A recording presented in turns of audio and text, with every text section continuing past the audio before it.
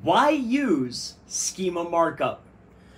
In today's video with Chris Palmer from chrispalmer.org, I'm going to answer for you why should you be utilizing schema markup? Enhancements! The reason for structured data is to mark up elements on your page to get enhancements.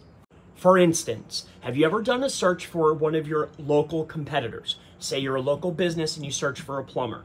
You're looking at local business owners that underneath their websites inside of the search results, you see stars.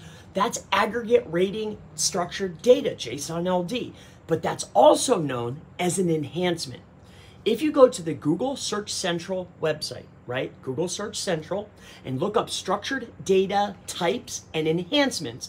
It'll give you a list of all the different types of structured data that you can utilize on your pages in order to get an enhancement. I'm Chris Palmer, and I hope this answers why.